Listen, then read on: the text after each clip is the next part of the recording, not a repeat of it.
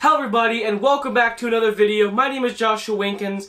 I'm a 17-year-old filmmaker that likes to focus on videos such as tech videos, lifestyle videos, vlogs, and cinematic films.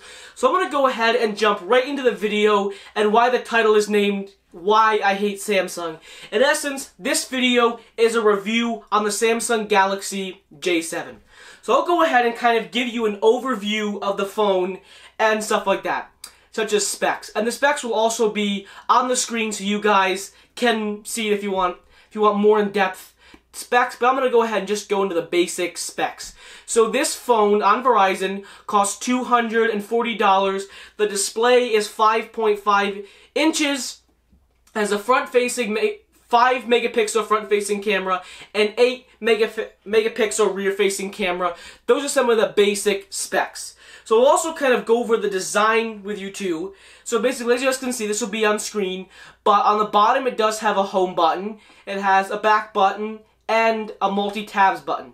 It also on the top says Samsung, and there's a, spe speaker, um, the 5 megapixel front-facing camera, and a microphone. And if you flip it over the bottom, there is also a microphone. There's also the charging port, and the headphone jack, which I know some people really miss. So go ahead and still stick to the front. On the left side, there are the volume rocker, so turn up and down. On the right side, there's the power button, all on the side of the phone. And on the back, there is the 8 megapixel rear-facing camera and the flashlight. And also this, also the back comes off for a, it also has a removable battery. So I'm going to go ahead and jump more into depth of the review, honestly. So, basically, my experience with this phone has not been great. That is why I've titled this video, Why I Hate Samsung. Let me go ahead and jump into more in depth of what I just said. So as I first got that got this phone, I looked at a bunch of reviews and stuff like that. Ooh, this phone looks nice. As a budget phone, $240, why not? Now, as I just used it for basic calls, messaging, web browsing, social media, it didn't seem that bad. I said, okay, what? It's only $240 a budget phone. This is pretty impressive for a budget phone. As I started using it, downloading more photos and videos and more apps, I realized this phone is slow, and that's this is where the $240 budget J series started to show some wear and tear.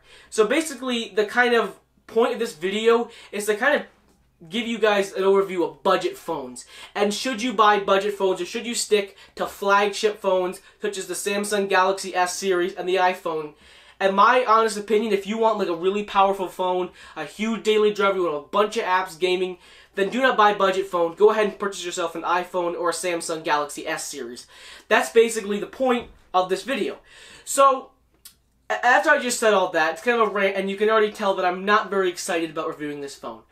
But I have to review it anyway. So I'm going to go ahead and go into more depth and show you guys how this phone is not really worth it. So I'm going to go ahead and on screen you'll see some photos and videos and stuff like that of the camera showing you guys the camera is not that great. Now as you can see this is a back facing, rear rear facing camera as well as front facing pictures. There's some videos as you can see the photos are, are okay but as you can see as the lighting's not that great the you can definitely see the quality. That's where it starts to lack. Also, a downside to this phone is it only has a 720 display, so the display is a little pixelated and stuff like that. And also, when you want to watch YouTube videos, you cannot watch a video in 1080p. You have to watch it in 720p, which is definitely a problem for a lot of people. At least for me, it is. Now, for the majority of most people, that's not that big of a problem. So, kind of as we're wrapping up this video, the point of this video is basically just a review on the Samsung Galaxy J7 and kind of my review is basically saying don't purchase it. This is kind of the major point of this entire video and kind of in in general, budget products, it seems that budget technology never usually pays off, and you end up actually spending more money in the end from bu buying budget technology. So as the basically the end of the video. So, as you can see, review of the Samsung Galaxy J7, not as great as it's all cut out to be. The 2017 model, for so for 2017 phone, that is not very impressive. And my honest recommendation is I would not purchase this phone. Anyways, guys, before we go ahead and end the video, from now on, I'm going to do these little comments, questions uh, at every video. At the end of every video, go ahead and comment whether you're watching this on Facebook or YouTube. So the question of the day is going to be, or the question of the week or whatever, is going to be, what phone are you currently using? And also, do you think budget phones are the best way to go, or should you buy more expensive phones such as these big flagship phones? Anyways, guys, so if you guys do enjoy my content and my videos, go ahead, hit that subscribe button, also give this video a like, and I will see you guys next Sunday. Peace.